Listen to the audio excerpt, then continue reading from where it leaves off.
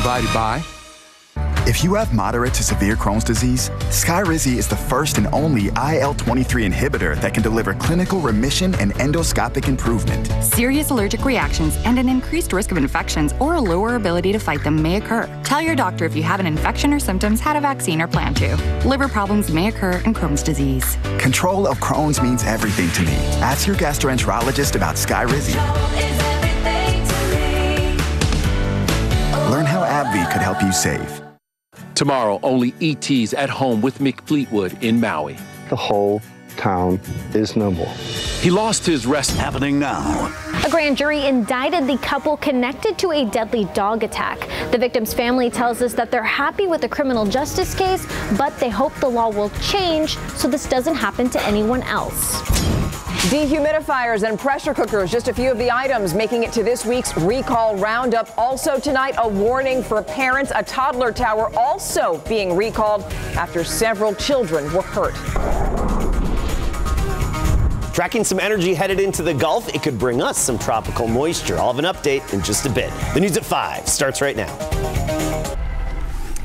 Now, tonight, justice for 81 year old Ramon Najera, who was killed in a dog attack earlier this year. This morning, a grand jury indicted the couple who own those dogs. Our Camelia Juarez is live at the Bexar County Courthouse. Camelia, you actually spoke with the Najera family. What are they saying tonight? Steve, Stefania, Ramon's son, or the son, victim's son, Raymond Najera, says that this is a step in the right direction and he hopes to see the dog owners get the maximum sentence. Christian Moreno and his wife, Abilene Schneider, were indicted on charges of attack by a dangerous dog, causing death and reckless bodily injury to the elderly. In February, firefighters found 81 year old Najera on the ground outside a home being attacked by dogs.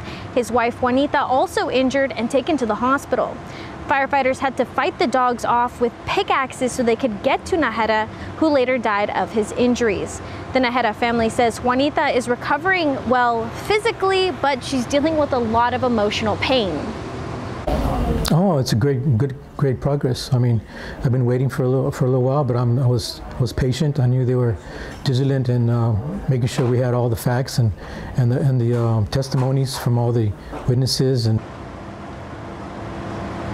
The indictment comes nearly six months after the attack, and in response to that attack, the city is proposing an increase to the animal care services budget so they can hire more officers to respond to dangerous dog calls. The proposed budget, which was discussed today at City Council, increases the department's budget by 26% while adding nearly 30 new positions. Now, a vote on the proposed budget is expected early next month, and the couple, if the couple is convicted, they could be facing over 20 years in jail. Right now, they're out on bond and awaiting their day in court. Live from the Bexar County Courthouse, Camelia Juarez, KSAT 12 News. Thank you, Camelia. A man is dead. Bexar County Sheriff's deputies looking for the hit and run driver they say is responsible for his death. Happened last night about 9:30 along the I-35 access road between Shepherd and Lucky Roads, not far from Lytle. Deputies say after hitting the 46-year-old victim, whoever was in the vehicle just drove off. The 35 access road at Shepherd Road was temporarily closed to let emergency crews work. The man was taken to the hospital where he later died. Right now, there is no description of the vehicle or the driver involved. Now, Crime Stoppers and SAPD need your help to solve a double murder. The victims in this case are 15 and 19 years old. The bodies of Angel Rey Garcia and Gregorio Cordova Meja were found at the Union Pines apartments near Pleasanton Road and Southwest Military Drive last July. Both of them had been shot multiple times. So investigators are urging anybody who knows anything that could lead them to a suspect to call San Antonio Crime Stoppers. That number is right there at the top of your screen. It's 210 224 STOP. Considered armed and dangerous. Now, the latest on the blue alert issued by DPS in the search for two men wanted in connection to a Harris County deputy being shot. DPS troopers have one of those suspects in custody. This morning, 37 year old James Green taken into custody, but state troopers are still looking for the second suspect, 34 year old Taryn Green. According to Harris County sheriffs, the suspects allegedly shot the 29 year old deputy during a traffic stop in northeast Houston. The deputy rushed to the hospital by medical helicopter. At last check, the wounded deputy was said to be in critical but stable condition. Following the shooting, DPS issued a blue alert that you may have received on your phone last night. Anyone who has seen Taryn Green should call police. Helping elementary school students kick off the new school year on the right foot. The goal behind a school supplies giveaway this morning. School kits containing crayons, pencils, notebook paper, and erasers delivered to Mary Huppertz Elementary School to be handed out. The free supplies donated to the student group by the group Texas Yes, which is part of the nonprofit group SAS. Texas Yes partnered with Thomas J. Henry to collect the items. The school's principal says these donations offer parents some extra relief with back to school expenses.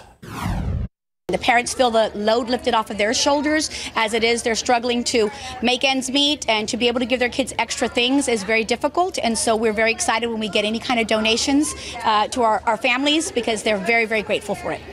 Texas Yes says by providing students with supplies and other resources needed in the classrooms, well, that helps them achieve academic success. Yeah, and start the school year off right. So now let's talk about college students because the ones in our area are already getting ready for the new academic year. Students at UTSA are moving in this week, and this year, some 4,600 students are going to be in campus housing. Now, we're told the school housing at UTSA's main and downtown campuses are at full capacity.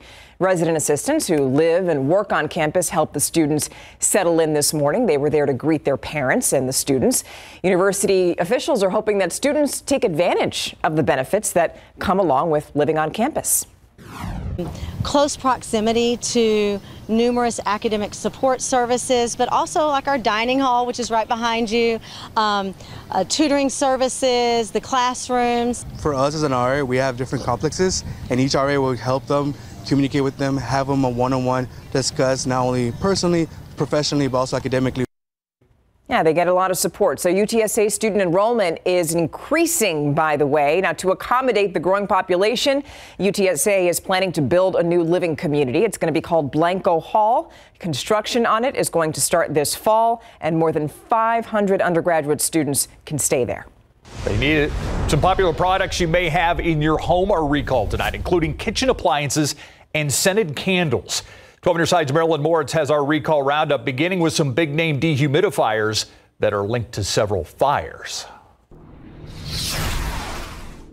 Unplug it. One and a half billion dehumidifiers sold under various brands, including GE and Kenmore, are recalled. The appliances made by Gree a decade ago are linked to 23 fires. The models are on our website. It is not the first. So the Consumer Product Safety Commission warns check your dehumidifier to see if it's part of previous GREE recalls. Those are linked to hundreds of fires and possibly four deaths. We have more information on our website.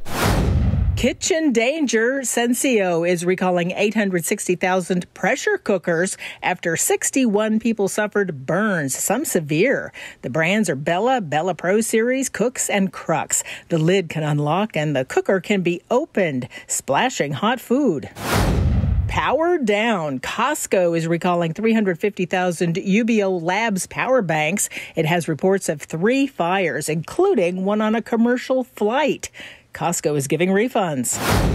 Parent alert, these toddler towers can tip. Simplay3 Company is recalling 108,000 of them after reports children got hurt. Contact the company for a fix.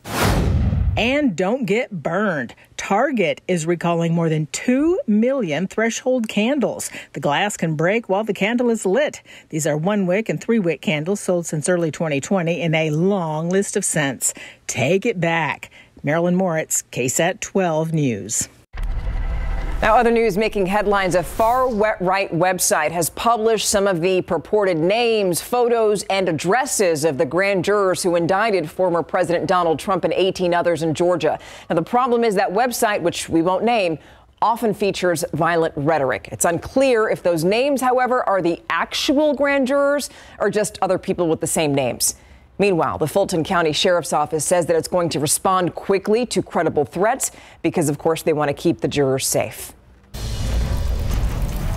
Boy, oh boy, the road to recovery continues on the island of Maui. FEMA now sending more aid to help the survivors of the deadly wildfire that destroyed the town of Lahaina last week. More than 100 people dead, about a thousand others still missing. As ABC's Melissa Adan explains, with hundreds of homes and buildings destroyed, people who've been left with next to nothing now trying to figure out what's next. A tragedy forever scarring the island of Maui as the federal response to this disaster grows. The wildfire in the historic city of Lahaina destroying homes, beloved buildings, and killing more than 100 people. And many more remain unaccounted for. Search and recovery efforts continue. Red Cross volunteers gathering donations for the thousands impacted. My organization uh, has been in every major disaster in the United States for as long as it's existed. I have been in every major disaster in the United States for the past decade. This is unprecedented, Chief. Impacted residents are now working to figure out long term housing plans. FEMA promising to aid as long as it takes, and they're on the ground asking residents to apply for the disaster relief. We will continue to provide support to Hawaii for as long as is necessary. Um, but the people of Hawaii, they deserve a recovery that not only addresses their immediate needs, but that positions them as an example of resilience strength, and resolve. As haunting images from survivors and their harrowing tales are told. Video captured by Lahaina residents show the frightening scenes as they were caught in the wind whipped inferno, showing how they huddled against the seawall for hours, some jumping into the ocean, waiting to be rescued. The cause of the fires has not yet been determined by officials, but this video shows what could be an early trigger. A witness describes a flash that might be a tree falling on a power line. The power goes out, our generator kicks in, the camera comes back online, and then the forest is on fire. Firefighters are still working on fully containing all of the wildfires that are burning on this island, making a lot of progress since last week. Melissa Adan, ABC News, Maui. I want to show you something on TransGuide right now. This is I 35 at Braunig Lake, and what, what's happening here is some sort of a backup. What is not good is you see a big truck doing it right there. They're going across a very dry median in their vehicles that are very hot that could potentially spark some sort of fire. It actually looks like there's a dark spot off to the right that may have already sparked a fire. Again, sorry, I misspoke. This is I 37 at Braunig Lake. There's some sort of backup, not sure what's happening further down the road. But you can see a lot of people just taking the exit there. Some, though, are just crossing the median. There goes another one, crossing the median in a hot vehicle. That could spark some flames pretty easily. Adam Cass. Yeah, it can happen quickly with the ground is like kindling right now. It is very dry and it's uh, also very low humidity this afternoon, and that adds to the fire potential. 105 the high temperature so far today. We'll have the complete update at 6 o'clock. That could rise another degree, maybe even two. Regardless, it's a record by one degree, and the average high is now down to 96. It was 97, climatologically the hottest time of year. Now it's down to 96. We're starting to round that bend in terms of the averages. Del Rio, 108 along with Floresville. Panna Maria, 107. 108 in Mico, La Vernia 108. I actually just checked the temperature at Stinson Municipal Airport on the south side. 108 the temperature at Stinson. Clear sky this evening, southeasterly breeze 5 to 15, increasing humidity. By 10 o'clock, we're near 90 degrees, and then tomorrow morning near 80. Uh, get ready for a shift in our weather pattern. Our triple digit streak is likely to come to an end, and a shot at rain to talk about. See you in a bit. That's what we're excited about, Adam. Thank you. Now, straight ahead, wildfires triggering what's being called a crisis situation in Canada and also a hurricane in the Pacific has some Californians on high alert. Details after the break. I'm Myra Arthur, and here's what's coming your way today on the news at 6 o'clock. A fight over a police dog in Schertz is sparking some outrage. The former handler wants his partner to come home and retire. But the police chief says not so fast. How the community is getting involved in this dispute now.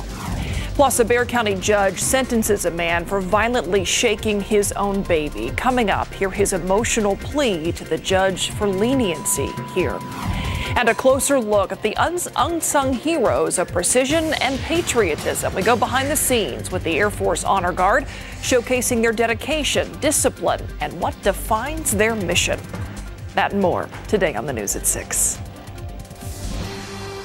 Thank you, Myra. We've been talking about the devastation on Maui, but extreme weather and wildfires are threatening parts of North America. Yeah, mass evacuations are in place in Canada as more than a thousand wildfires continue to burn. Patrick Cornell shares how extreme heat and hurricanes are also threatening people's lives.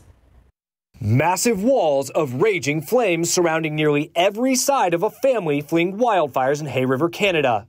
A woman in the car says the inferno was so intense the vehicle started melting during the drive. It's just smoke. It's just smoke. A woman engulfed by smoke evacuating Yellowknife calls it a terrifying experience. The premier of the Northwest Canadian Territories is urging people to obey evacuation orders, saying in a statement, We're all tired of the word unprecedented, yet there is no other way to describe this situation. Toxic smoke once again triggering unhealthy air quality in the northern United States. This is a rapidly evolving situation. Our hearts and thoughts are with every community in the Northwest Territories who's been impacted, every person who's having to leave their home, and all the firefighters and emergency responders who are on the ground helping to keep people safe. Along the California Oregon border, This fire is almost around We're us, escaping but my husband. people are fleeing the flames of three wildfires that have merged together. Meanwhile, two deaths are being investigated, and Oregon is being potentially related to the heat wave striking the state. Officials there warning people trying to cool down in water. Jumping into water, even as warm as 75 degrees, can cause your body to be stunned. This as Hilary rapidly intensifies in the Pacific. It's forecast to reach Category 4 hurricane strength by Saturday as it approaches the Baja California Peninsula. I'm Patrick Cornell reporting. Okay, so we're dealing with the heat over here. Obviously, we know that 517 right now, 106 degrees. I believe this is near the airport. Uh, now we're going to send things on over to Adam Caskey because there is something around the corner that we that seems potentially good. Yeah, some tropical moisture could head our way. I know Hurricane Hilary is likely to bring some heavy rain to California, parts of western Arizona, and even Nevada. That's what we could use is tropical moisture. And there's a chance for a bit of it. Let's take a look at our rain chances. Early next week, particularly by Tuesday and possibly even lingering into Wednesday, we do it have a shot at some showers and thunderstorms. Right now we've got 40% chance Tuesday, 30% chance on Wednesday. Still some unknowns. Keep in mind we're trying to predict a disturbance, a system that hasn't even developed yet. So we're trying to predict something that we can't even measure. So that adds a bit of complexity to it. Upper level high. It's over New Mexico right now. This is going to be moving. This is going to be shifting our weather pattern. This is what I mean by a change in our weather pattern next week. It's still in control this weekend and even through Monday, but then it heads farther to the north and that opens the door for this disturbance to sneak into the Gulf of Mexico by Sunday. 30% chance of tropical development with this. It seems like it's going to be moving a little too fast for much development, but the Gulf of Mexico is like jet fuel right now with how hot the water is. So it's not going to take much. But right now, the Hurricane Center just has that 30% chance of developing into a tropical depression. Regardless, it's going to have a lot of moisture with it, and that's what we need. The big question is on Tuesday, when that moisture moves inland, where exactly, what track is this going to take, and where's the rain going to end up? So here's another way to look at it. What we know right now that the disturbance that enters the Gulf on Sunday. We know that the rain moves inland on Tuesday. But what we're watching for is exactly where is that rain going to move inland? It could be anywhere from Houston down to Brownsville. We could be right in the good sweet spot or just outside of it. We don't know yet. It's impossible to tell. We're also watching for the potential for organization and a bit of strengthening in the Gulf, as I mentioned, that 30% chance. New drought monitors in. It's not good news. 71% of Texas is in drought. Some of the worst drought is right here. Fredericksburg, Kerrville, Bandera, Boerne, Fair Oaks Ranch, and even toward Bulverde and even San Antonio. Coming up at 6, I'll give you a comparison to just two months ago, the kind of changes that have been made in this drought monitor. 52nd 100 degree day so far this year. That's today. Gives us 19 consecutive 100 degree days. We're making the run for 21 and I think we're going to do that. That was our most ever in a row. Look at Del Rio at 110 along with Cotulla, Pleasanton 108 along with Austin. Stinson now 107, Pleasanton I mentioned 108, Rio Medina and Castroville 107. We're feeling the heat now. Tomorrow morning 78, by the afternoon 105. That would be a record by one degree here in San Antonio. And very similar temperatures across the board. New Braunfels 106, Kerrville maybe 104. Again, we're watching that tropical moisture, and I'll have another update on uh, this system and talk more about it coming up at 6. All right, Adam, thank you. All right, we know when the Wemby era officially begins now. Yes, and it officially begins regular season at home with the Spurs coming up. The Spurs released their schedule today. We're going to give you some of those highlights and tell you when Wemby will make his regular season debut. Plus, San Antonio FC picked up three points last night, which put them back in first place. Coming up.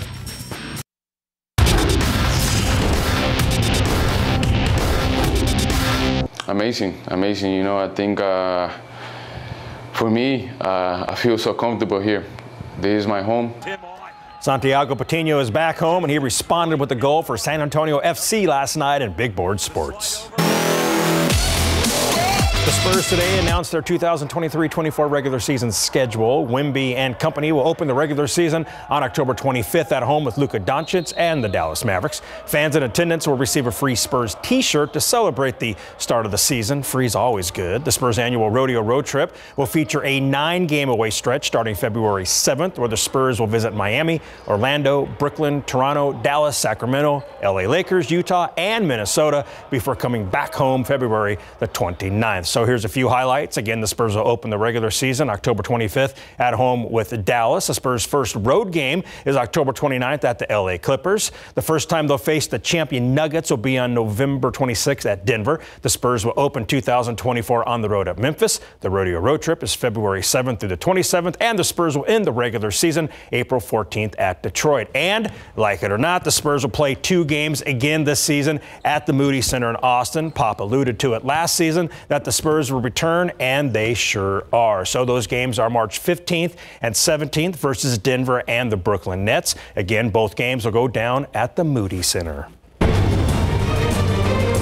San Antonio FC beat Rio Grande Valley FC 2-1 last night at Toyota Field to take over first place in the USL Championship Western Conference with 46 points. Santi Patino scored in his second match back with the club and his first at home since rejoining the team. No, it's, it's great to be here. You know, before the game, I was I always praying. I was thanking God to bring me out here. Uh, I think in Brazil, you know, I grow so much, and I just look at that experience like I'm a better player, player than I am now than before. So I just come here to help the team and to apply the experience that I gained over there. Rida Zouhir gave SAFC the lead 2-1 in the 30th minute with that sweet goal. San Antonio FC is home again, hosting Monterey Bay FC on Saturday at 8 p.m. Those are some moves right Those there were at some the end. awesome moves. Wow. Yeah. Thanks, Larry. You got it. And we'll be right back after the break. Yeah, so we're on alert right now for traffic. This is I 35 at Walzem Road, where you can see there's some activity there on the shoulder, a fire truck, another vehicle behind it, and it is causing a bit of a backup, so just want to put you on alert. Thank you so much for watching the news at 5. World News up next. We'll see you back here at 6.